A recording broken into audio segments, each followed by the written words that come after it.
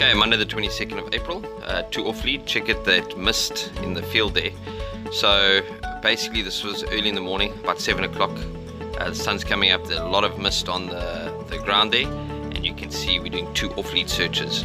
So in this one you can see, I gave her the scent rag earlier, uh, she smells it and then she goes into text.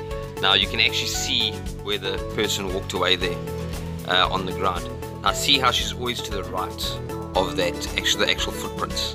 Now what's happened is the wind, very very slight breeze, has blown that that air just off a bit.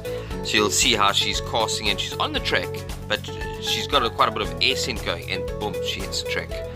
And there she goes, and then she flies. Now it's lead, so the goal here is she goes away.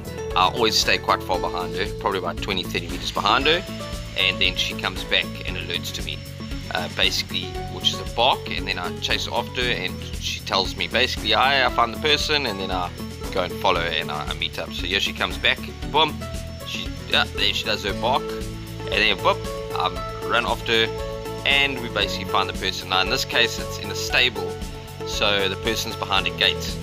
So we put all different scenarios in. Sometimes it's in a house behind a door. Uh, sometimes it's in a, a stable like that. Sometimes it's in a different field, sometimes it's behind a fence. Um, obviously, because the dog must come back and alert you that hey, the person's on the other side of this. So you have to put all these scenarios into play. Okay, this is the second off lead. You saw the rag I showed you earlier. That's the scent rag of the person. So there she goes. Now I'm very far back in. She's running off. She's all the way down in the end there.